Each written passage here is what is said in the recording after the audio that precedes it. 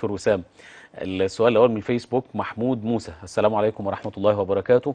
بعد إذن مشايخنا الأفاضل كنت عايز أعرف ما الحكم في دعاء اللهم إني لا أسألك رد القضاء ولكني أسألك اللطف فيه لأنه جادلني فيه شخص ما وكان يقول إنه هذا دعاء حرام. لا مش حرام وأنا أرى. العكس أريد تفسير هذا الدعاء وجزاكم الله خيرا. لا أسألك رد القضاء أسألك اللطف فيه. يعني دائما المسلم يرضى بقضاء الله سبحانه وتعالى وقضاء الله نافذ. فهو إذا دعا الله تعالى فأقر بأن قضاء قضاء الله نافذ. ثم طلب اللطف. يعني هو يتكلم عن أن اللطف آه، آه، من نفحات المولى سبحانه وتعالى في قضائه. نعم. فهو التاني المعترض عايز يقول له إيه؟ طيب اللطف برضه ما هو آه، قضاء الله نافذ. يبقى قضاء الله نافذ باللطف أو بغير ذلك. فلما تدعو باللطف. فاللطف ده جاي من قضاء الله المعلق. يعني إيه؟ يعني لا يرد القضاء إلا الدعاء. فالقضاء نوعان. قضاء معلق على سبب وقضاء منجز في علم الله لا يكون إلا ما يريد. نعم. طيب فإذا قدر الله قدرا أنا مش عارف إن ده هل ده من القضاء المعلق أو القضاء المنجز؟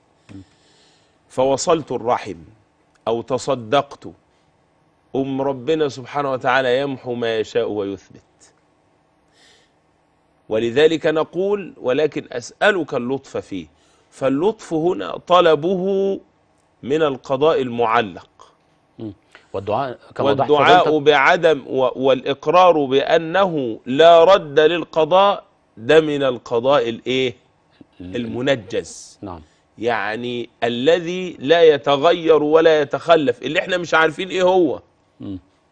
فلما كنا مش عارفين إيه هو طلبنا اللطف. وال- والدعاء نفسه زي ما ف- فضيلتك وضحت هو من قضاء الله أيضا إنه بي بيؤهل العبد إنه يدعو بهذا الدعاء. بلا شك بلا شك. وعلم الله سبحانه وتعالى محيط بكل هذا الأمر. نعم. م- بمعنى إنه هو قدره سبحانه وتعالى إذا كان حتى قدر للعبد أن يدعو فلا يتحقق ال- القضاء الذي قضاه سبحانه وتعالى فعلمه محيط بأنه سيدعو ولن يتحقق هذا الأمر. هو مش لا يتحقق القضاء الذي قضاه الله. قضاء الله لابد أن يتحقق. لكن هل هذا من قضائه المتحقق.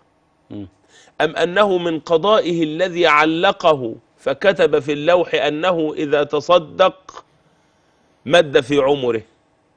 وهنا ممكن أو إذا وصل رحمه نسأ في أثره وزاد رزقه. أحد المشاهدين هيسأل فضيلتك هو معاذ دي الله؟ عايزة حلقة كاملة. معاذ الله هو الله بص أنا عايز أقول لحضرتك لا يعلم إنه هيتصدق أو لا يتصدق؟ حلو قوي ده السؤال ده يحتاج إلى حلقة كاملة.